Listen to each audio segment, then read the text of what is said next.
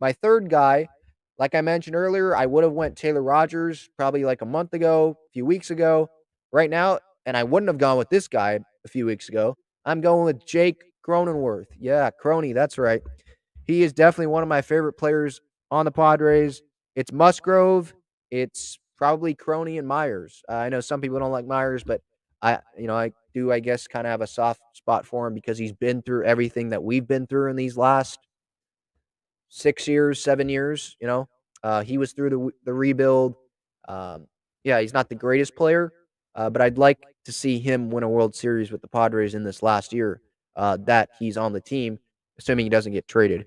Uh, but Jake Cronenworth, getting to him, I think he deserves to be an All Star. Just looking at the National League All Star roster last year, you had Adam Frazier starting, and you had two other second basemen. I think Max Muncy was the other, and Max Muncy is not doing great this year. He's not going to be an All Star. Um, if there's going to be three second basemen this year, like there was last year, Jake Cronenworth should be that third second baseman.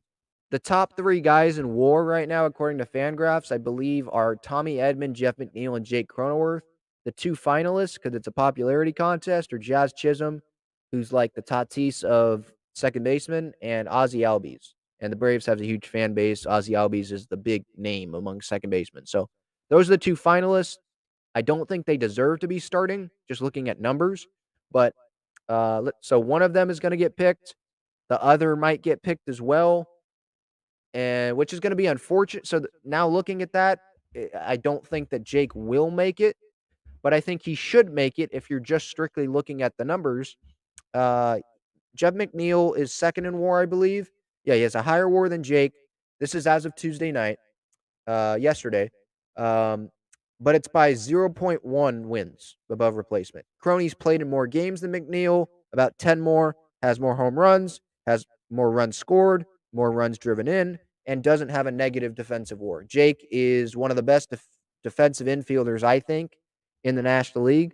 Uh, he could play first, could play short, could play second, great versatility. And he's played all but like two games this year. And one of those days was probably a mistake on Bob Melvin's part because it was Crony's bobblehead day, and he, they decided not to play him. Um, yeah, the average isn't really there. He's hitting 240, but neither is the average there for Ozzie Albies. He's hitting 244. Um,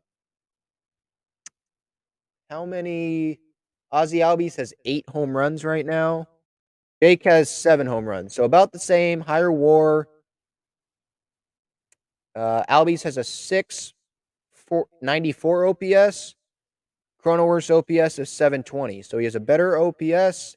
League average OPS plus is 100. Jake's is 110. He went on that absolute torrid stretch during that Cubs series that like week. Should have won NL Player of the Week, I think, but Goldie won it. Uh, Goldie's been really good this year too. He's probably like the front runner maybe in NL MVP this year.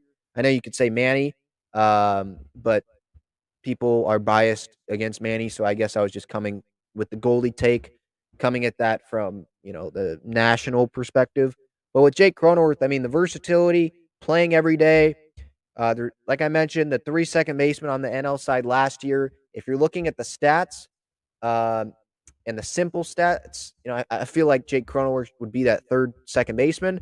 But when you figure that the All Star starters, the voting, it's a popularity contest, and you got some guys that aren't a top three second baseman right now in the National League in that finalist, Chisholm and Albies. One of them's getting picked. The other might get picked because of popularity. Uh, and if if Chisholm wins the second baseman pick, Snitker is Albies' is manager.